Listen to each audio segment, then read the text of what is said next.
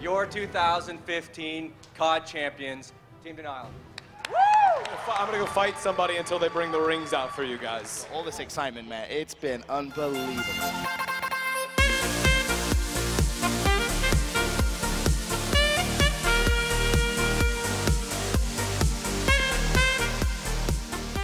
Man, oh man, what a weekend it has been. COD Champs 2015 ended with a bang, with Denial Esports taking the $400,000 prize and winning COD Champs for Call of Duty Advanced Warfare. And I want to quickly congratulate Denial for the win, guys. They did a really great job, a hell of a job, in fact. But definitely, there were so many good teams out there in COD Champs that made a great difference in the game. There were a lot of upsets, there were a lot, a lot of good top plays. But overall, guys, it was a really great event to see. And if you haven't seen it, and man, you missed a lot. It was great. And like I said, I would like to congratulate Denial for the win. But in this commentary, we're going to just talk about basically the highlights of COD 2015. What was there that actually ma really mainly affected COD 2015 to the finals, as well as just things that are actually going to happen afterwards, after COD Champs. But without further ado, we're going to get started with this video.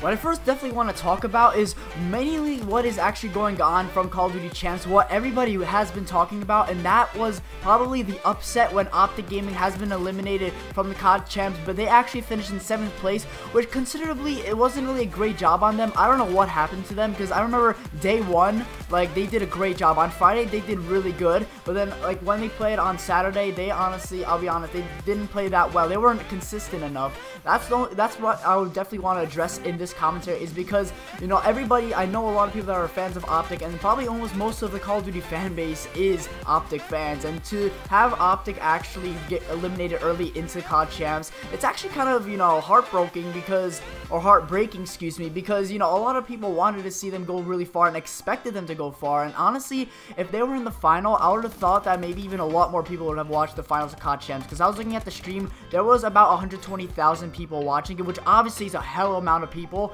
But imagine if Optic Gaming was there, dude, there would have been like double at, or even triple. But we're not really going to talk about Optic Gaming. We're going to be talking about all the pro teams that were uh, participated in the COD Champs. It was it was really a great event. Like honestly, there's so much that I, I could talk about right now. Uh, it's actually going to make me stutter because there's so many things that happened. But overall, like I said, Denial completely decimated uh, through the entire uh, course. They were in the top brackets after they were seed two team, and they managed to go through, beat Optic 3-1 um, in the top bracket bracket of round, uh, I believe it was the round one bracket, I believe, yeah, not to be mistaken, but yeah, they really did a hell of a job to get through, uh, they beat Optic Gaming, they beat all kinds of teams to even get through to the finals, and then they beat Revenge 3 to 2 um, in the first uh, series, which is a really great job, like they were a good team, and, and the MVP award did go to Clayster, guys, Denial Clayster got the MVP award, and he even said himself uh, after the game that he really didn't care too much about the award, he cared about that the fact that they all played well as a team, which is definitely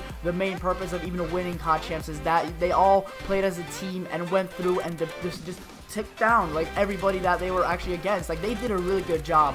But other than just denial, like you know, like I said already, Optic, you know, it was kind of frustrating for other people how they actually didn't go that far. They finished in seventh place. They did beat TK to at least win thirty-five thousand dollars. Uh, TK won twenty-five thousand dollars. So everybody from uh, eighth place uh, to first place did win money. Everyone above that didn't really win that much money.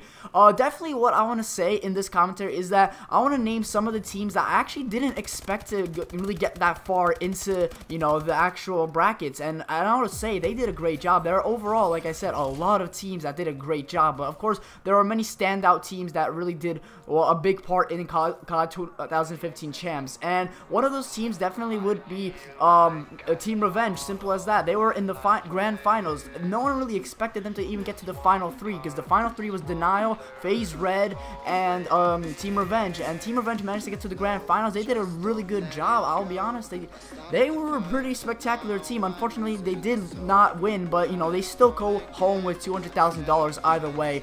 Um, what other teams I would say? Uh, Mind Freak, it was actually an Australian team, I'm guessing. I think I am right. Mind Freak did really good. They got up to round two, I believe, and they, uh, I think they lost to Prophecy, but, you know, then again, they still did really good, considering that, you know, they're not really a well-known team. They're like, there are many um, not well-known teams at all that actually made it really far. I can name some like Mind Freak, uh, Prophecy somewhat. They're pretty average. They did really good, though, overall as well.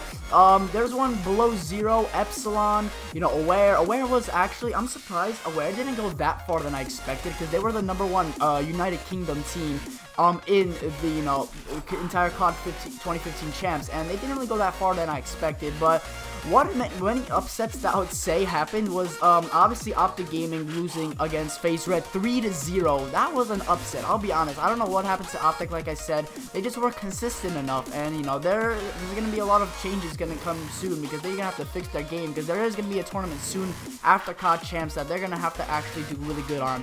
Other than that, um, you know they you know didn't do good. There was like teams like Envy, Team Kaliber. They're really good teams, or you know I could say average teams. They didn't really go that far than expected. You know, FaZe Black actually, FaZe Black got knocked out real quick, and you know they really did a poor job. And honestly, my reason for that is that there was so much drama going on on Twitter. If any of you like follow, say like Drama or just follow them on Twitter, they honestly have a bad reputation or just a bad morale. That could be somewhat the reason of how they didn't do good, or they just didn't play well as a team. By the way, that that, that was a team that I saw that didn't really uh, make it that far than everybody expected. A lot of people thought you know both FaZes would actually get through. FaZe Black got eliminated early. FaZe Red did go all the way to third place, which is good. But guys, overall, that is it for Call of Duty 2015 Champs. Once again, I want to congratulate Denial Esports for making it this far. It was a great, like probably one of the best Call of Duty events ever, you know, because obviously there were past Call of Duty events, you know, Black Ops 2, Modern Warfare 3, all those uh, past CODs. I feel like this was arguably, arguably the most exciting one, especially because actually Call of Duty Advanced Warfare worked perfectly for this style of play. The, the competitive style in Call of Duty Advanced Warfare, per, you know, works perfectly for, you know, everybody to enjoy. Uplink was so fun to watch. Hardpoint as well. Honestly, CTF wasn't as fun to watch, but it wasn't that bad either way. And, you know, other, other than that, that was it was really great event, guys. And that is going to be the commentary for today. If you have any questions of anything that happened or any opinions you want to comment down below, please comment down below. If you enjoyed this video, please smash that like button below. Join the Mafia by subscribing below. And I'll see you guys later. Peace.